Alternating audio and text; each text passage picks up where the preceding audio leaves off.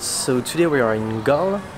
Uh, it's a little city uh, on the shore uh, on the west coast of um, Sri Lanka, famous for uh, its fort built by uh, the Portuguese colony in uh, the 16th century. It's very quiet, very nice. There are lots of shop, lots of jewelry shop actually. Also famous for the, the blue sapphire from Sri Lanka. I'll show you around.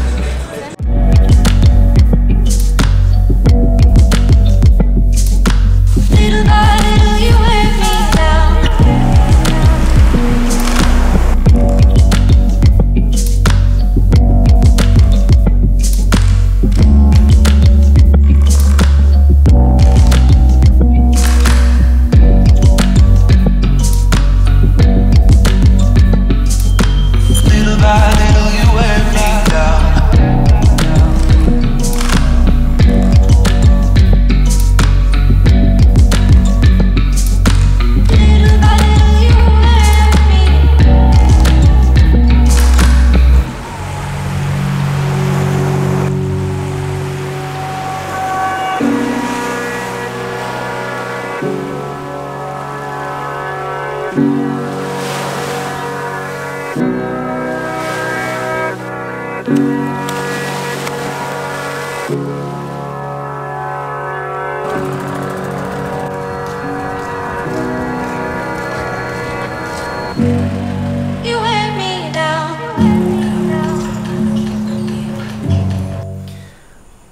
yesterday we ate at uh, on the beach at the Happy Tuna.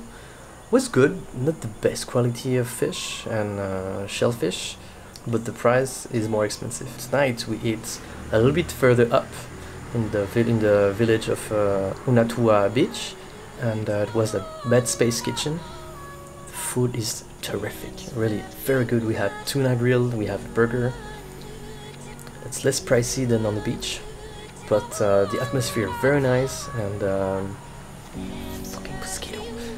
the atmosphere is very nice and the food delicious.